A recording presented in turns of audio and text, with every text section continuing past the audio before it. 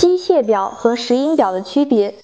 现在市面上的手表大部分是石英表与机械表，石英表和机械表哪个更好，一直是很多人疑虑的问题。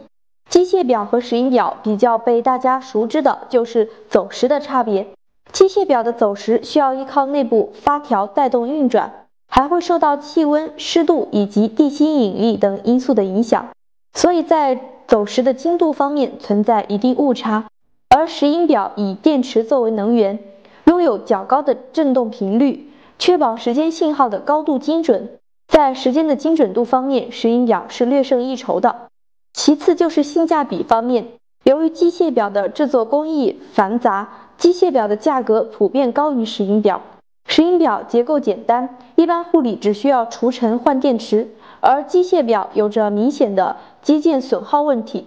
只需要注意防水和碰撞问题就行了，使用过程会比较省心。石英表的外形设计有更大的发挥空间，机械表要考虑机芯的大小薄厚来设计表身，而石英的机芯更自由。